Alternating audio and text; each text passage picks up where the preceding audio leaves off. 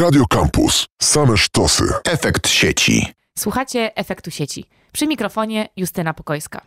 W obliczu panującego kryzysu energetycznego, o którym właściwie słyszymy na każdym kroku, warto dzisiaj pochylić się nad kwestią energii. Potrzebujemy energii elektrycznej, potrzebujemy prądu do wszystkich e, akcesoriów, których e, używamy każdego dnia.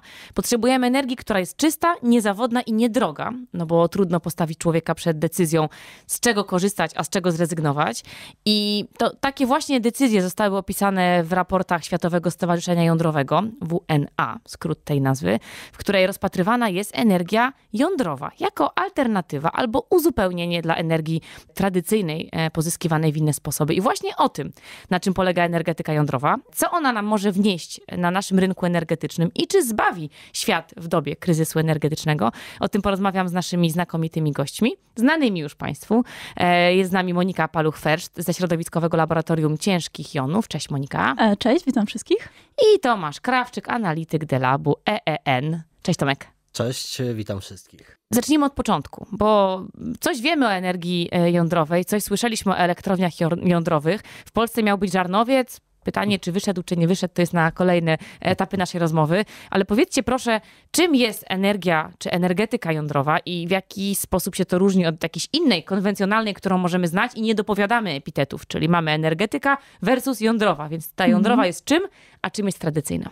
No właśnie, jeżeli e, chcemy w ogóle porównać energetykę jądrową z taką konwencjonalną, to należy e, porównywać ze sobą takie cztery podstawowe parametry, jak sprawność netto e, wytwarzania energii, następnie powierzchnia pod zabudowę danej elektrowni, pewność dostawy surowców, tak, co zwłaszcza teraz jest takim palącym tematem, no i ogólne koszty, czy to powstania, czy później eksploatacji. Więc tak, jeśli chodzi o sprawność energetyczną, no to jakby na tym najniższym poziomie sprawności jest fotowoltaika. Później nieco lepiej... Poczekaj, bo ona wymaga dużo przestrzeni znaczy, i nie, relatywnie nie, teraz mało mówimy o sprawności. O sprawności, mhm. tak, o sprawności. O, o, Czyli o produkcji prądu, tak, mówiąc tak, bardzo tak, wprost. Tak, mhm. dokładnie. Czyli powiedzmy mm, tak 0,1 MV przy sprawności około 10% to jest to poczekaj, bardzo... a na ludzkie 0,1 MV to jest y, moc, która jest potrzebna do czego? E, to jest moc e, elektryczna. Tak, ale co można tym zasilić, albo co nam się zapali, kiedy dostarczymy taką energię? Czy to są lampki choinkowe, czy to Nie, nie, nie. To, to chodzi później o przekazanie jakby tej energii do generatorów okay. i dalej do, do sieci elektrycznej. Tak, czyli jakby porównujemy ze sobą e, i sprawność, i co za tym idzie moc e, danego źródła e, energetycznego. No i trochę wyżej, tak około pomiędzy 20-40% sprawności, są już na przykład e, elektrownie wiatrowe czy, czy jakieś gazowe, przy czym jakby znów te megawaty nie są zbyt wysokie, tak, do, do około powiedzmy 100 megawatów. Natomiast elektrownia jądrowa też jest w tych przedziałach pomiędzy 30 w sumie a 40%, ale za to już z takiego jednego bloku energetycznego możemy e, wyciągnąć 1000, a w tych nowych generacjach reaktorów już prawie 2000 megawatów. Także różnica pomiędzy tym 0,1 a powyżej 1000 czy 2000 to już jest no, po prostu bardzo duża. To, co właśnie powiedziała Monika, to rzeczywiście ta efektywność energetyczna jest bardzo istotna. Tak? To pokazuje też, że mówimy tam około 40%, że gdzieś te straty tak po drodze występują. No bo to są straty chociażby związane yy, na zasadzie, musi sama elektrownia funkcjonować. Ale to są straty też poszczególnych przemian. Ale co warto też jakby dodać, bo patrzymy też na energetykę właśnie tą obecną, konwencjonalną, tak, bo dużo się mówi w tej chwili o węglu, prawda, o problemach z tym węglem, a z drugiej strony oczywiście no, nadzieją y, są te elektrownie jądrowe, tak, to żeby tak, szanowni państwo, obrazowo chociaż mniej więcej wytłumaczyć sprawę, to z jednego grama uranu można uzyskać tyle energii, co z trzech ton węgla. Tak, tak? dokładnie. A z 450 gramów uranu to w zasadzie tyle energii, no jak z ponad 760 tysięcy litrów ropy naftowej. I ten uran się tu pojawia nie przypadkiem, bo tak. do tej pory jeszcze nie było tego mariażu, skąd uran w tej opowieści. No właśnie. No właśnie, dlaczego porównujemy to z uranem, tę ropę mhm. czy węgiel, węgiel mhm. drogi teraz, pamiętajmy, mhm. że to nie są tanie rzeczy. Nie, nie są, nie są. No tak, ale mamy uran, no my nie mamy uranu raczej na porządku dziennym. No nie mamy. Skąd ten uran, dlaczego uran w kontekście energii e, czy elek e, elektrowni jądrowej się pojawia? No to tak jak w elektrowniach węglowych jest potrzebny węgiel gazowy, gaz, no to w elektrowniach jądrowych właśnie paliwem do takiej elektrowni jest uran. Przy Skąd się pozyskuje uran no poza właśnie. układem okresowym pierwiastków na lekcji chemii w liceum? To bardzo proste. To też jest, e, że tak powiem, paliwo kopalniane, bo albo są takie kopalnie, że tak powiem, napowierzchniowe, tak? albo bardzo głęboko wewnątrz ziemi. Także to też jest kopalniane paliwo, przy czym a e, mogę taka... zapytać, gdzie występuje uran? Na przykład Kazachstan, Australia. Tak, mogę powiedzieć, że regiony. 25% tego światowego e, wydobycia jest właśnie w Kanadzie. Następnie około 19% to jest Australia i 13% Kazachstan. Także Rosja nie jest, e, że tak powiem, w tej, na, najczęściej, no, znaczy na, na, szczęście w tej czołówce. No dobra, mamy uran, mhm. mamy dużą sprawność energetyczną, czyli udaje nam się uzyskać dużo mocy poprzez rozkład jąder uranu. No tak, ale może tak, bo już myślimy pewno troszeczkę, jak e, ten uran jeszcze obrobić, tak? No bo tak, to, to tak. że my go sobie tak e, wydobędziemy swobodnie. Skałą nie palimy. Tak, tak, tak, tak. To, on musi jeszcze być e, poddany odpowiedniej takiej obróbce. obróbce. W zasadzie to jest w mhm. ramach całego cyklu paliwowego, tak? tak? Nie wiem, Monika, może... Powstaje taki, z tej skały takiej zmielonej, jeszcze poddanej różnym procesom chemicznym, to się nazywa tak kolokwialnie żółty keks, tak? Czyli to już taka jest substancja sprzedażowa z kopalni i później następnie zakład takiej produkcji musi jeszcze zrobić ostateczne paliwo, które później się daje do reaktora. To nie jest takie proste i naprawdę niewiele krajów e, się tym zajmuje ponieważ jest to bardzo skomplikowane. W takiej zwykłej skale, powiedzmy, jest 99% e, uranu 238, a tego uranu, który tak de facto wykorzystujemy jako e, paliwo, to jest uran 235, gdzie jego jest powiedzmy no tak 0,7%. Okay. A żeby to wszystko zadziałało, musi go być tak przynajmniej 3 5-7% w zależności od reaktora. Więc wzbogacamy, tak? To się nazywa e, ten proces właśnie wzbogacaniem. I to jest e, bardzo skomplikowany proces. Po prostu oddziela się uran 238 od uranu 235, bo one mają tak delikatniej, ale jednak inny ciężar. I to się dzieje właśnie w wirówkach. Po prostu odśrodkowo się e, wiruje. To są obroty, nie wiem, 50 do 70 tysięcy obrotów na, na minutę, także to są bardzo duże. I taki proces dzieje się po kolei w jednej wirówce, drugiej wirówce, trzeciej i tak łącznie taki cykl to przechodzi tysiąc wirówek. Mhm. Także to jest naprawdę bardzo skomplikowany proces. I żeby później z tego dostać dwutlenek uranu, który już jest takim, że tak powiem, końcowym produktem, to naprawdę czasami rok, dwa taka, takie wzbogacanie e, jest. A czy to znaczy, że taki proces jest bardzo drogi i kosztochłonny? Tak, tak. To jest właśnie, to jest naj, naj, największy koszt jakby wyroby, wytworzenia tego paliwa. Będziemy sobie mówić oczywiście troszeczkę później o kwestiach zabezpieczenia określonej infrastruktury, chociażby właśnie na poziomie nie tylko samej elektrowni atomowej, ale w ramach oczywiście całego cyklu. Ale to może być od tysiąca, no nawet więcej tych wirówek, o których opowiada Monika. No i to jest też bardzo ciekawe. W zależności jaki procent wzbogacenia chcemy uzyskać. Tak, tak, tak. No ale żeby uzyskać ten właśnie U235, no bo on jest jakby to najważniejsze, tak, mhm. do, do, do tego, żeby opracować paliwo, tak, do, do reaktorów, no to rzeczywiście jest to proces, tak jak mówiła Monika, no wymagający dużej ilości tych wirówek, no i też pod względem zarządzania jakby produkcją całego tego procesu.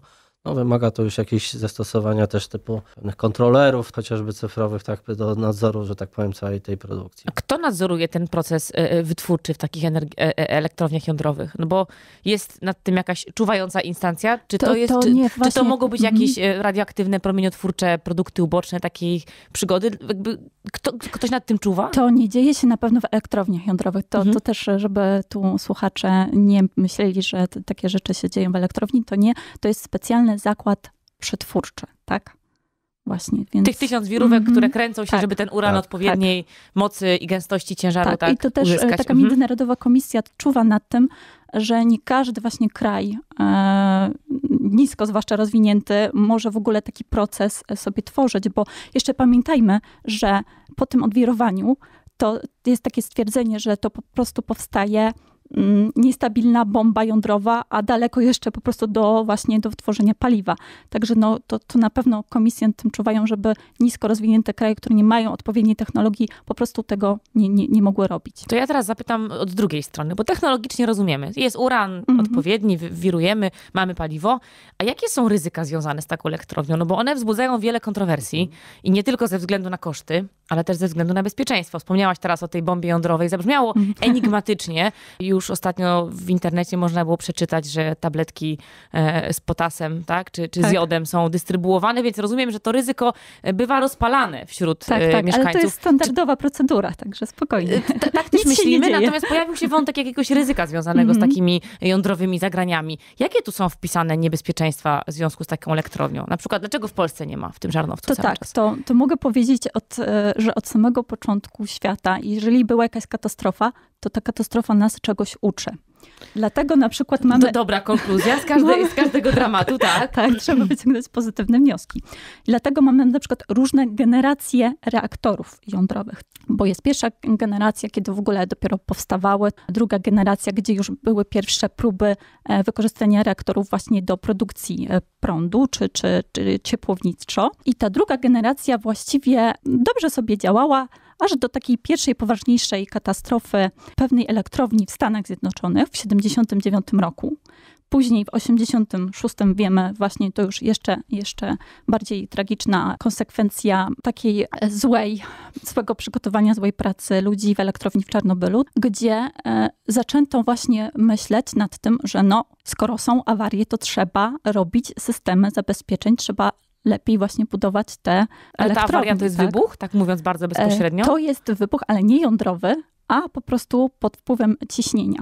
To, mhm. to, to, to, wybuchło. Także to, to, to, to jeszcze nie było takie jak wybuch bomby jądrowej, tylko bardziej, bardziej może tak technicznie, tak? Ale przy okazji po prostu się zaczęło wydostawać jeszcze promieniowanie jonizujące, w tym CES właśnie 137 i ten słynny J 131. Także właśnie i powstały w tym momencie reaktory trzeciej generacji. I one y, już kiedyś właśnie przeczytałam takie stwierdzenie, że żeby wszystkie systemy po kolei, które są w takiej e, elektrowni trzeciej generacji zawiodły, to jest po prostu 1 do 400 milionów.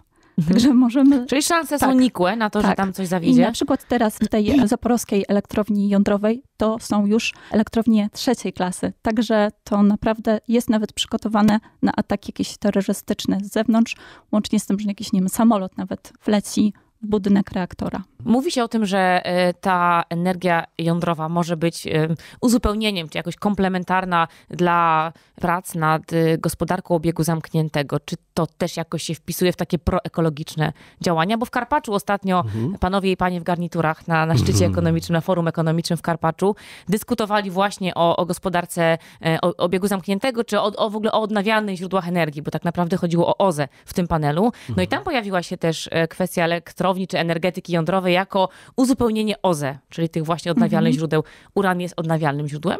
Znaczy tak, mogę powiedzieć, że na pewno jest jakaś duża też niepewność czy to farm e, wiatrowych, czy fotowoltaicznych, ponieważ no, nie zawsze mamy słońce, tak, nie zawsze mamy wiatr. I jeszcze jest bardzo ważne powierzchnia właśnie pod zabudowę. Żeby, te jądrowe są większe niż inne, e, czy mniejsze? One naprawdę dużo, dużo mniej e, zajmują mhm. powierzchni, tak, w stosunku do wydzielanych potem tych megawatów. No powiedzmy, no, e, w takiej wiatrowej, tak, czy tam fotowoltaicznej to jest, nie wiem, 100 tysięcy na megawat, a tu jest 10. 100 tysięcy czego? 100 tysięcy metrów kwadratowych, metrów kwadratowych tak, powierzchni. a tu na przykład mhm. jest 100 metrów mhm. kwadratowych, jeśli mhm. chodzi o elektrownię jądrową. Tomek, jak wygląda kwestia e, ekologiczności tak, elek- elektrowni chciałem, jądrowej? Chciałem do tego nawiązać. E, po pierwsze, rzeczywiście, jeżeli mówimy o Unii Europejskiej, to, to Francuzi, muszę przyznać, dosyć tutaj mocno naciskali na to, żeby jednak energetyka jądrowa była w jakiś sposób zaliczona do tych, które są przynajmniej przyjazne środowisku i udało się to uzyskać zresztą gdzieś w te wakacje. My też w ogóle w ramach Delabo organizujemy mm, taką spotkanie brokerskie i też warsztaty na temat energetyki, inżynierii ochrony środowiska i Zielony Ład. I uznaliśmy, że rzeczywiście, jeżeli chodzi o tą energetykę jądrową, to zgodnie z tymi zapisami, co jest Komisja Europejska podjęła, że no jest to rzeczywiście energetyka, która sprzyja, mm, powiedzmy, e, tutaj jest przyjazna dla środowiska. Chociaż tak jak powiedziała Monika słusznie, my ten uran wydobywamy, tak jak węgiel, prawda? Czyli Musimy, jednorazowe źródło, jakby jednorazowo, nie patrzeć. tak jakby nie patrzeć, tylko no widzimy, widzimy tą różnicę, to co tam żeśmy wspominali E, w zakresie no, otrzymania rzeczywiście energii. Tak, ile ja muszę zużyć węgla, tak, żeby... Czyli jest ekologiczna, tak. bo de facto mało zużywa, tak, tego, tych towarów. Tak, ale mniej, to jeszcze tak. nie koniec. Jeszcze jest jeden atut tak naprawdę. My wspominaliśmy tutaj o cyklu paliwowym. Monika opowiadała, jak ten cykl wygląda. Tak już pokrótce, no to tak to jest to wydobycie, tak, później już szlachetnienie, czy tak mhm. wzbogacenie mhm, tego uranu. Mamy oczywiście później te kapsułki. Te kapsułki idą w takie, można powiedzieć, pręty, pręty. paliwowe. Mhm. Mamy powiedzmy cały wkład do reaktora Później jak się wypali te paliwo, to my jesteśmy w stanie z tego wypalonego paliwa część jeszcze odzyskać urobku, tak, bo który wypala wróci, się mniej więcej tylko jedna trzecia tego paliwa. Który wróci z powrotem jakby mhm. tutaj do tej produkcji. Część rzeczywiście E, trafi gdzieś do szczelnie zamkniętych, są określone procedury. Oczywiście przeważnie są składowane w jakiś tam powiedzmy... Pod ziemią, na przykład tak. w kopalniach nieczynnych już. Tak, soli na przykład, one są, są dobre. w Polsce takie zasoby, zapasy podziemne? Ja muszę powiedzieć, że kiedyś dostałem takie zadanie jako student, dawno, dawno Żeby temu. pojeździć, poszukać e, zapasów nie. uranu? Nie, nie, nie, ale to, to pamiętam, że dostałem ja jakieś zadanie... Ja byłam w kopalni uranu w Polsce, jest. Napisać ocenę oddziaływania na środowisko dla elektrowni właśnie jądrowej. Aha. I to nie wiem, to był chyba gdzieś, nie chcę skłamać, 2000 chyba drugi rok. I na podstawie tych właśnie materiałów to uznałem, że no gdzieś jedna z zamkniętych kopalni soli w e, pewno e, w naszym kraju nadawałaby się do składowania tego typu właśnie. I na tej podstawie mm, zostały wydane decyzje środowiskowe, nie, nie, nie, publiczne i wiadomo, kto za tym stoi. Nie, to, to, to, to, to był oczywiście, że tak powiem, no, jakieś zadanie projektowe, tak? Ale, ale, ale rzeczywiście no, tak się praktykuje, prawda? Monika, gdzie jest kopalnia uranu w Polsce? Jejku, Powiedziałaś, gdzieś, że byłaś. gdzieś na Dolnym Śląsku. Aha. Tak, okay. już nie pamiętam niestety. Ale Dolny Śląsk. Tak, tak, tak. Mm. Tylko no, oczywiście to już jest nieczynna, ale można ją zwiedzać, także... Dla zainteresowanych. Jeszcze chciałam tylko powiedzieć, że światowe instytucje określiły, że uranu 235 jest e, na powyżej 100 lat. Poza tym to, co się teraz wydobywa, to, to jeszcze nie jest jakby we wszystkich miejscach możliwych, tylko po prostu to jest dostosowane do aktualnych potrzeb. Tak? Jeżeli będzie dalszy rozwój elektrowni jądrowej, to będziemy kopać paliwa, głębiej. Tak, to po prostu będziemy w jeszcze, jeszcze innych miejscach kopać, w których już teraz wiemy, że on jest. Jak tę całą gospodarkę e, jądrową zmieniają nowe technologie cyfrowe? Co tutaj się dzieje?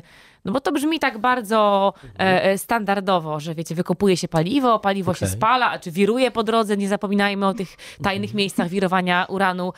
spala się, on jest bardzo efektywny, ale czy tu są jakieś rewolucje, które się dzieją na horyzoncie, albo nadchodzą, albo już się dzieją, że, że możemy mówić o tym, że ta cyfryzacja jest jakoś tutaj wpleciona w tę historię? Tak, jak najbardziej jest pleciona i ona wywołuje sporo też zamieszania, jeżeli chodzi o zarządzanie tego typu. W ogóle bym określił obiektami e, w zakresie nie tylko energetyki jądrowej, w ogóle też fizyki jądrowej, ale rzeczywiście my mamy na myśli przede wszystkim elektrownie jądrowe, no bo tam myślimy o tym bezpieczeństwie, tak? Przy czym no, z punktu widzenia w ogóle zastosowań różnego rodzaju rozwiązań cyfrowych, one są określone przez Międzynarodową Agencję Energetyki atomowej, w dokumentacji dotyczącej właśnie bezpieczeństwa i komputerowego, to tak mniej więcej w skrócie można by było przetłumaczyć w zakresie, określają to jako nuclear facilities, czyli szerzej, tak, nie mhm. tylko elektrowni atomowych. I to określa się jako sensitive e, digital assets, tak, czyli to są takie rzeczywiście bardzo wrażliwe aktywa cyfrowe i w skład ich, tak ogólnie przynajmniej, można stwierdzić, że Mówimy o deskopowych, oczywiście typowych urządzeniach, po czujniki, po sterowniki PLC, tego typu właśnie rzeczy, tak? Że one rzeczywiście są bardzo no, takim sensitive aktywem, mhm. jeżeli chodzi o elektrownie jądrowe, ale nie tylko chociażby nawet o to, co żeśmy wspominali o tym e, zakładzie wzbogacenia uranu, tak? o którym jeszcze mhm. pewno sobie coś powiemy. Dodatkowo, to też jeszcze pewno o tym wspomnimy, no tutaj już Międzynarodowa Agencja Energii Atomistyki zwraca też uwagę, no, że trzeba w pewien sposób zarządzać e, tymi aktywami cyfrowymi w zakresie bezpieczeństwa e, tych obiektów jądrowych. To już nie jest takie, tak jak w firmach możemy sobie swobodnie gdzieś tam pewne, pewne strategie ustawiać, są pewnego rodzaju przemyślenia, chociażby co do przepływu informacji tak, z tego typu różnego rodzaju urządzeń. Są wyzwania też, na które zwraca uwagę nie tylko agencja, e, o których się mówi też jakby w środowisku, jeżeli chodzi o te osoby, które zarządzają bezpieczeństwem energetycznym. Siłą rzeczy coraz bardziej cyfryzacja wkracza nie tylko od strony gospodarczej naszego życia, ale właśnie w energetyce też co e, pewnego rodzaju rodzi wyzwania. Na przykład mamy coraz więcej urządzeń, określanych tam powiedzmy w nomenklaturze przemysłu 4.0 OT, które posiadają już programy komputerowe, jakieś systemy informatyczne.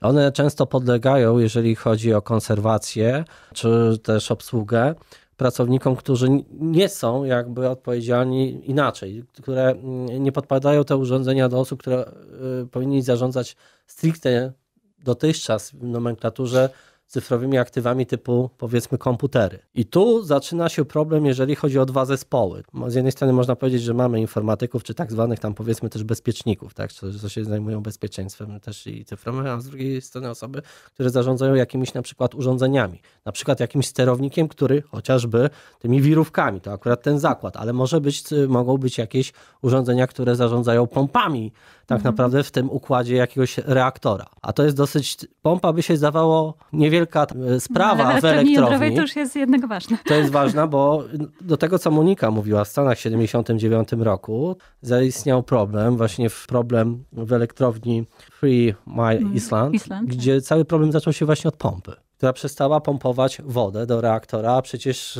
to jest... Chłodzi, woda tak, chłodzi? Tak, chłodzi. Tak, jest tak, też, w tym przypadku akurat też chyba jest moderatorem, bo tam jest tak, e, tak. Jeden z tych reaktorów, który Właśnie Moderatorem był, i, i chłodziwem. Tak, i chłodziwem. I to już jest problem, tak? No bo w tym momencie zaczyna wzrastać temperatura. No I może, gotuje się to wszystko. To się wszystko gotuje, tak. tak. I tak naprawdę no, gdzieś tam może nastąpić stopienie tam rdzenia w jakimś mm. tam mhm. powiedzmy reaktorze. Nie wiem ile tych tam reaktorów oni tam dokładnie mieli. Już jest problem. Oni no, mieli rzeczywiście problem. Z obudową, że, że też wysadzi. Mhm. Jest jeszcze, było ciekawiej, tutaj już nawiążmy może do tego zagadnienia. W ramach całych procesów, kiedy zaistniał ten problem, było też tego typu urządzenie, które miało odpowiadać za kwestie związane z ciśnieniem. Dokładnie rzecz biorąc, miał być to zbiornik taki wyrównawczy ciśnienia, który miał się uruchomić właśnie, żeby to ciśnienie tam w tego typu awaryjnych sytuacjach też tam powiedzmy tam w jakiś sposób wyrównać. Co się okazało, tam był zawór bezpieczeństwa jeszcze. Ten zawór bezpieczeństwa się otworzył słusznie, tak żeby tam to ciśnienie tam się unormowało, ale Okazało się, że później nie został on zamknięty. To mhm. znaczy, sygnał w formie impulsu elektrycznego do gdzieś tam systemów sterowania dał oczywiście taki impuls, że czujnik niby zarejestrował, że nastąpiło zamknięcie zaworu, ale nie, nie nastąpiło mhm. de facto. Czyli mieliśmy różnicę pomiędzy tym, co sygnał dał, tak, można a powiedzieć. Co czujnik, czujnik pokazuje. Co czujnik tak. pokazuje i co się de facto tam Wydarzyło. fizycznie dzieje, mhm. tak? I to sprowadziło jeszcze tak naprawdę całą ekipę, chaos, która tak. zarządzała, jeszcze mhm. większy jakby chaos, tak? Więc e, no, to, to pokazuje, że i to był 79 rok, tak? Czyli jeszcze druga generacja. Więc mhm. nawet my mówimy teraz o transformacji cyfrowej i o dzisiejszych wyzwaniach. My mamy chmurę, my mamy VPN i zdarzają się historie. Powstał taki raport w 2015 roku, który pokazywał, że no, niestety z tymi przestrzeganiem bezpieczeństwa w, nawet w elektrowniach jądrowych bywa różnie, że potrafimy się łączyć nawet tam przez VPN z domowym komputerem, który no niestety posiada na przykład wirusa. Ale o tym to już w kolejnym odcinku, bo tu dziś temat ciężki na tapecie, temat y, niebagatelny i myślę, że zupełnie nowy dla większości z nas. Także ogromnie Wam dziękuję za te e, wprowadzające refleksje i zdania, bo, bo to e, osadziło nas w tym ciężkim temacie, e, tak ważnym dla nas, szczególnie w okresie kryzysu energetycznego. Elektrownie jądrowe, czarna magia. Czy w Polsce mamy jakąkolwiek? Nie mamy elektrowni jądrowej, ale mamy reaktor badawczy. Maria. Czyli y, Marię będziemy mm -hmm. obserwować, przyglądać się będziemy rozwojowi być może infrastruktury jądrowej w Polsce. Kto wie, kto wie. E, trzymamy rękę na pulsie, a dzięki Wam nie tylko na pulsie, ale będziemy też rozumieć, co tam się dzieje. Bardzo Wam dziękuję za dzisiejsze spotkanie. Doktor Monika Paluch-Ferszt i Tomek Krawczyk. Dziękuję. Dziękuję bardzo. Słyszymy się jak zwykle w kolejnym odcinku Efektu Sieci. Justyna Pokojska, zapraszam. Radio Campus.